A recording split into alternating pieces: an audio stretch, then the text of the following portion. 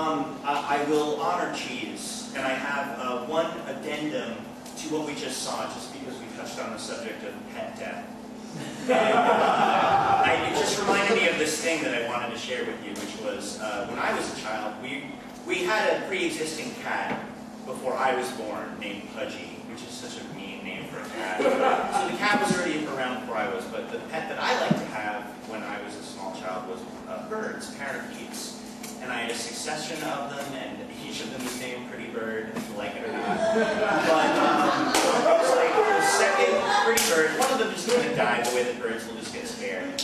But um, we let it fly around the house, and Pudgy was just a mean cat, like just really mean, and you know, hated birds like the classic hatred, and would, would just watch this bird. And we let the we let Pretty Bird fly around the house every now and then.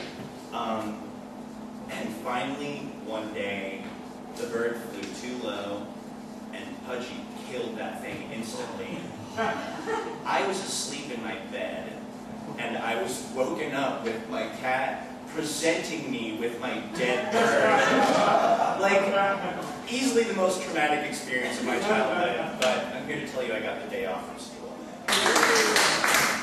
So, um, this thing, so. Just gonna go. Cool. So, um, this is my room anyway. It's, uh, it's nice. Thanks. Okay. Two.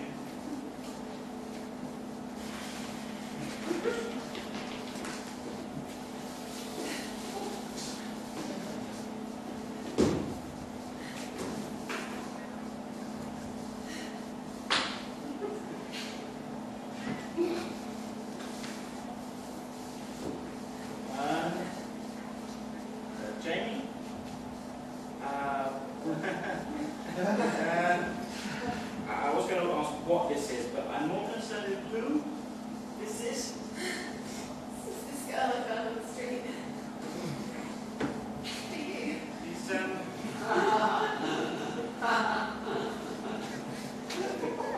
Jamie, Yeah. this is going to sound like, um, it's going to sound like such a silly question, but, Yeah. but is, is, this, is this girl dead? Yes.